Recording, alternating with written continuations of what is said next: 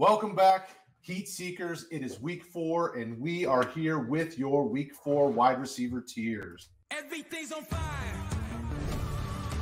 Everything's on fire. Everything's on fire. As always, thank you guys for liking, commenting, subscribing, all the things you guys do to help make this channel amazing.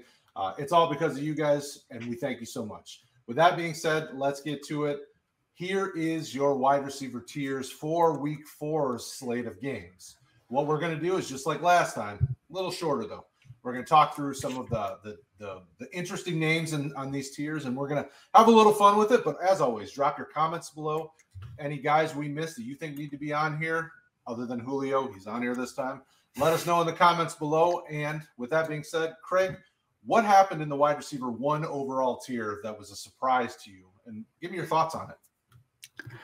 So, I mean, there's two sort of surprises for me. One, you know, when we are putting these together as a team, uh, compared to what we had seen prior weeks, Mike Williams being in the wide receiver one overall, he's certainly earned it, as I believe he's the number two wide receiver in PPR year to date. So, a bit of a surprise if you're talking about preseason, but it makes sense with what's gone on here. The other one, um, as a Dallas fan, it surprised me that Renafod said Amari Cooper is still in the wide receiver one overall. Certainly, there's that explosiveness of that offense where he can be. Um, it's just been a little bit, you know, inconsistent for him to start the year, and I sort of view him and Cooper about similar. But uh, overall, yeah, I mean, there's not a whole lot of surprises in the wide receiver one overall for me. How about you? Yeah, the you know the interesting thing is is the Chargers offense is supporting both Keenan Allen and Mike Williams. I mean, they're both over 30 targets so far this year. Um, and, and, this offense is really high powered. So I think, you know, until they show us otherwise, Mike Williams is healthy. He's doing what we thought he should do coming out of Clemson all those years ago. Uh, good quarterback. Everything's been been working well for them. So it's it's an exciting time to be a Mike Williams owner because you know, if you're in dynasty, this is the time to, to cash out. If you're not competing and in a redraft format, you just keep starting them until otherwise. And you probably drafted him late enough that this is a huge return on the investment. So it's a good time. Uh, other than that, no. I mean, that, it all makes sense. Amari Cooper, I know is it's it, you know that offense is very high powered, and and CeeDee Lamb could quickly move into the wide receiver one overall on a weekly basis just because of what he's been doing. But you know, Amari Cooper's still the the top option in that passing offense, so I feel good about him as a wide receiver one overall. But you know, that could change in a few weeks. There's a lot going on in fantasy. All right, so top six wide receiver, a lot of names that we're expecting really nothing surprising here. Uh, Brandin Cooks has been a name that's been that people have been surprised about, but he just continues to produce no matter who the quarterback is. In this top six wide receiver tier, you know, is there anything that stands out as surprising or anybody that you thought really shouldn't be here? Yeah, I, I find it funny that, you know, we talked about the two um, Chargers receivers up at the top, and of course, there's the two from Seattle too. But then we got three from Tampa Bay, in that top six wide receiver. And you know they do have that potential upside. You know, it all just depends on who's healthy for a week, who Brady decides is going to be the guy giving what the coverage t- or taking what the coverage gives him rather. Um, you know, it could be any of those guys, and I do think they eat into each other a little bit. Uh, but if we're talking about upside for these, which is what we're talking about when we're making these, yeah, I think it makes sense. Deebo, we saw it week one, but I think it'll be interesting to see what's that offense going to look like this year because it just hasn't been the same since that first big game uh, against the Falcons. Was it? No, they didn't play the Falcons. I don't remember my week to week here. well, and, and the interesting thing I want to Detroit, sure that, sorry, 49ers yes, played Detroit week yeah, one. They played Detroit week one. Um, you know, with Antonio Brown, we have him here, but let's keep an eye on what that injury report for week four looks like. We know he was out week three against the Rams. Uh, so you know, this is this is very much if everybody's healthy and playing, this is where we project these guys to finish out as, or where we think they're going to finish out is. But you know, as always, keep an eye on the injury report. You know, and, and come here Sunday mornings and talk with Bryce and Rick and the guys about you know his health and where if you should be starting him or not. Because you know, uh, Tampa Bay has a lot of great offensive weapons, and Antonio Brown is a good one if he's on the field. But if he's hurt still or, or not playing, you know, that's a problem. Uh, okay. So other than that, you know, pretty straightforward. How do you feel about Calvin Ridley? That's one I thought was interesting that we still have kind of high end hopes for and thoughts on. What where are you at with him? Yeah, so I mean, he's the alpha receiver there now with Julio gone, of course, to the Titans. I think it's just going to be a matter of what is that team going to be able to do week in and week out. And I think it's hard to say because that offensive line is not great and that team I think there'll be enough garbage time where you know that upside where we have him makes sense. Um, and Washington has given up points this year. Um, you know, Atlanta is not Buffalo, but you know they gave up points to the Giants too. You know that defense just has not shown what we think that they were capable of preseason. So Ridley there, I, I think he still deserves to be there. He can still easily be a top six with you know it's basically him and Pitts is the only sort of consistent target options at you know wide receiver tight end. Of course, Patterson is there. He's a you know wide receiver running back, depending on where you're working off of. But he's clearly the alpha, and I don't see them shutting down Atlanta this week. So I absolutely agree.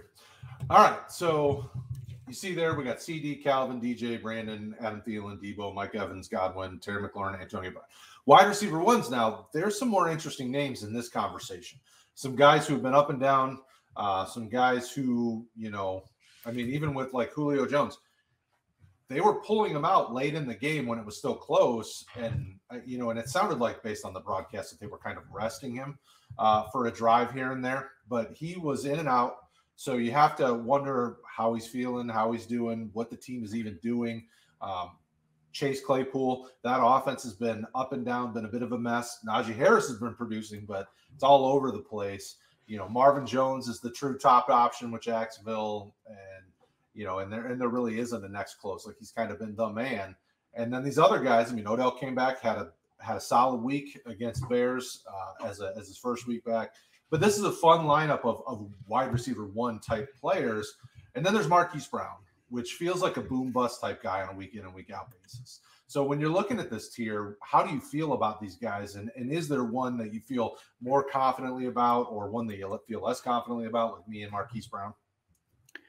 The one I feel less confident about, honestly, is Chase Claypool.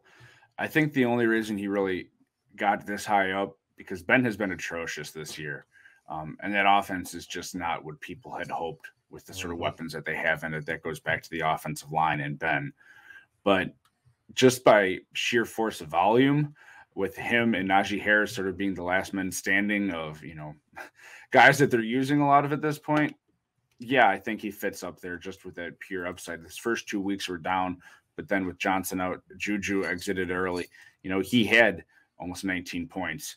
Um, so, you know, that that fits for a week. Um, Julio, we're gonna have to see. Are they going to continue to rest him through series? If AJ Brown is gone, I think they're going to have to play him more. Is they they're going to need an alpha receiver out there to take away from teams stacking the box against Derrick Henry and completely shutting down that offense. But the rest of those guys, I think, fit there, and we've seen it from them this year. Where I I like it. How about you?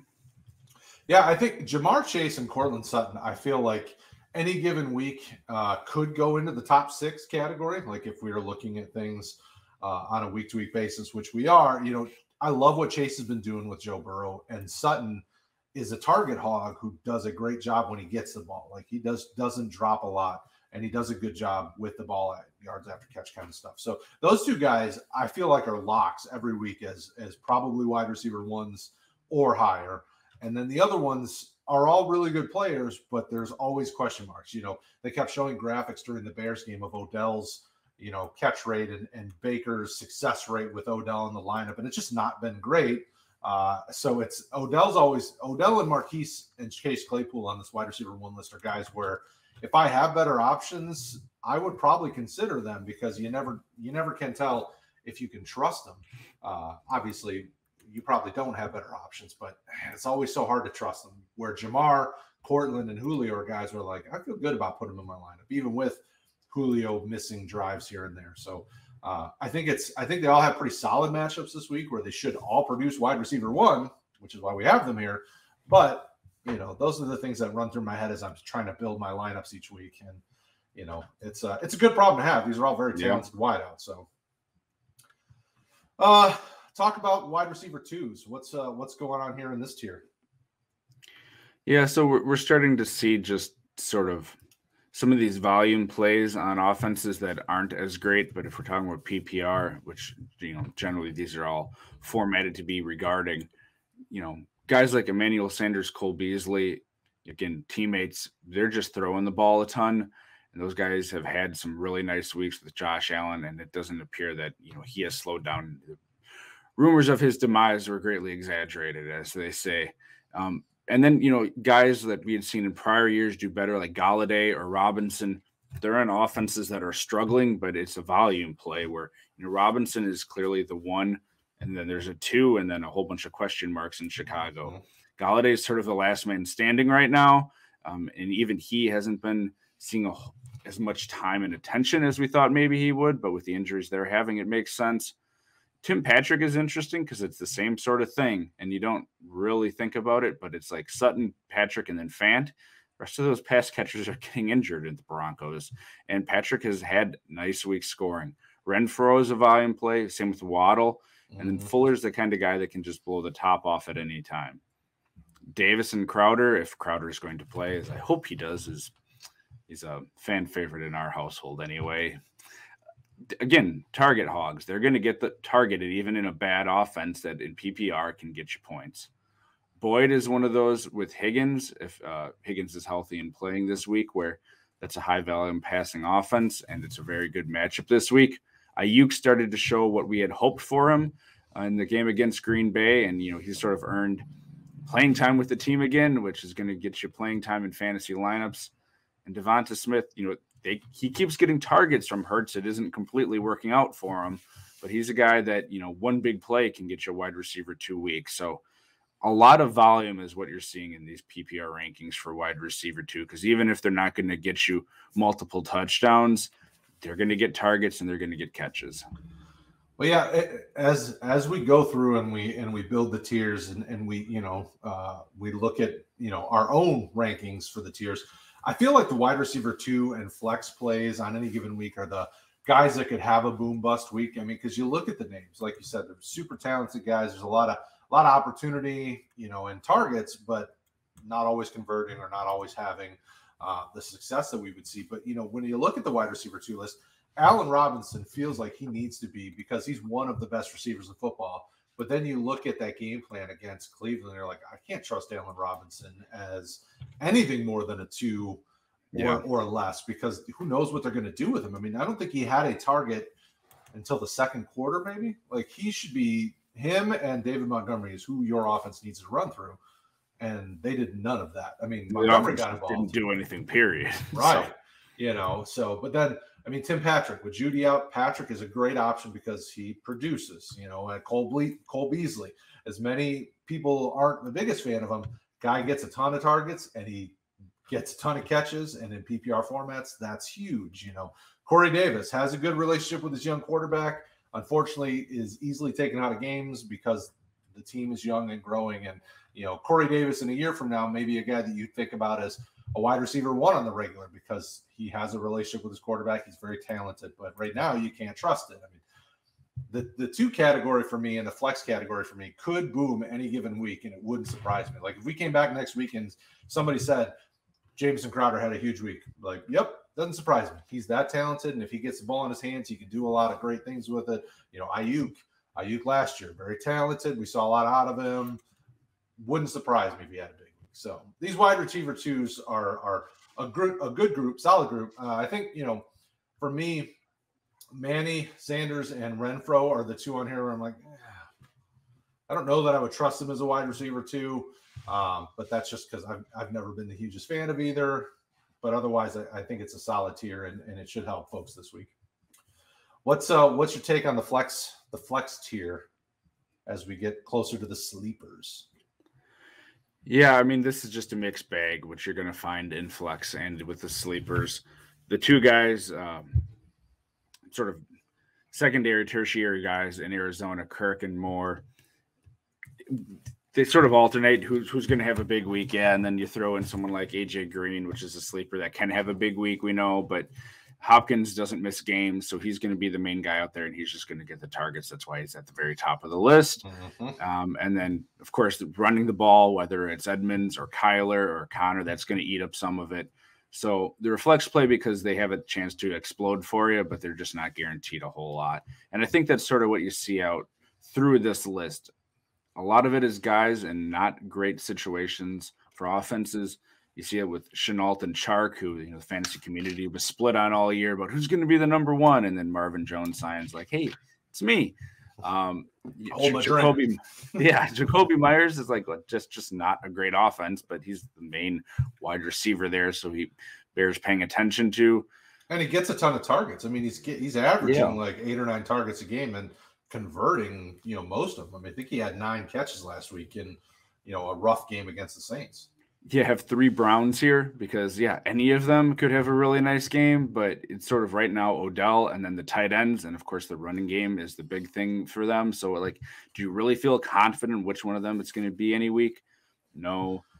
The the biggest thing that I think was interesting to me is that both Van Jefferson and Robert Woods fell into here where you know Woods just isn't getting the attention that he had in prior years so far from Matt Stafford. You know, they try to run the ball, you know, to maintain that balance a little bit. Uh, even last week against a team like Tampa, where you just don't have success running, um, they just blew up on offense, and you know, Sony Michel was able to find a little bit of room, but Woods wasn't getting any of it. I think it was DeSean, Cooper Kupp, Higbee were the ones that had touchdowns. Yep. And you know, Jefferson's getting targets where Woods just isn't being paid attention to. And I think he will have his weeks.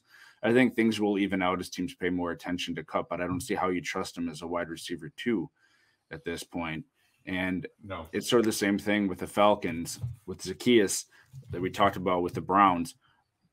There just isn't enough being thrown his way for him to be more than that, that you can trust him in a given week. And um, sort of the same thing with MVS. They'll take a couple shots with him down the field, and that's you're hoping you connect with one of those because you know they're going to do it a few times a game. But if he doesn't, you know, you're not going to be getting much out of him. So it's just a huge smorgasbord here of just different sort of situations. And some of these guys eat into each other. That's the last one I didn't mention. Well, two of them. The Raiders and the Eagles, you know, there's two guys from each of those teams here where you're sort of, again, the second and tertiary receivers on the teams, just in terms of targets and what they're doing with those targets, where any one of them could have a really nice week, any one of them could just disappear, but they're having to throw the ball on those teams right now because of just either being behind like the Eagles have or lack of success running the ball like the Raiders. Absolutely. You know, and and we were uh, we were talking about it in the waiver chat, but I really feel like DPJ is going at some point to have just a boom game. So putting him as a flex play uh, is big because when Baker needs a completion or or when he needs something big to happen, it looks like he's been targeting DPJ. And DPJ makes spectacular catches. Now he's not making Odell one-handed catches, but I mean he's making those catches where because he's such a tall receiver, he can stretch out and use that big wingspan. I mean, there was one catch on the sideline where there was no way he should have came down in bounds. Yeah.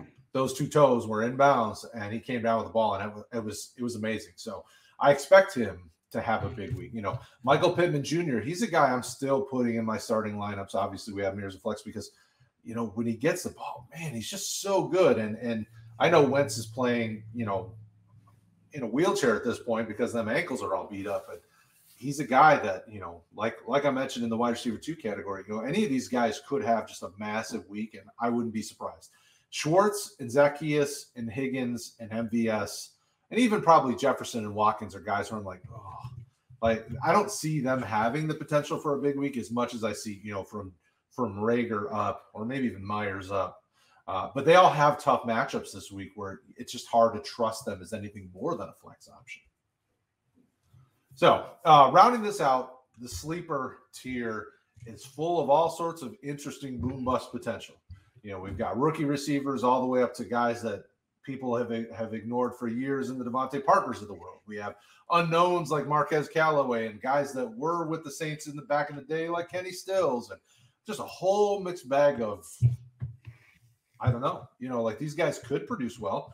Agholor's had, had a nice week. You know, Elijah Moore, everybody loves him. Like, what are you doing with the sleeper tier? And do you feel really confident that any of these could be a flex or a wide receiver two by the end of week four?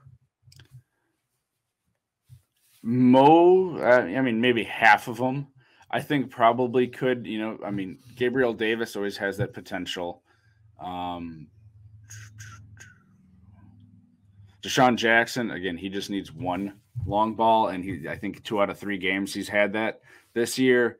Um, any of those guys, and that's kind of why they're all grouped together down here at the bottom on the Chiefs.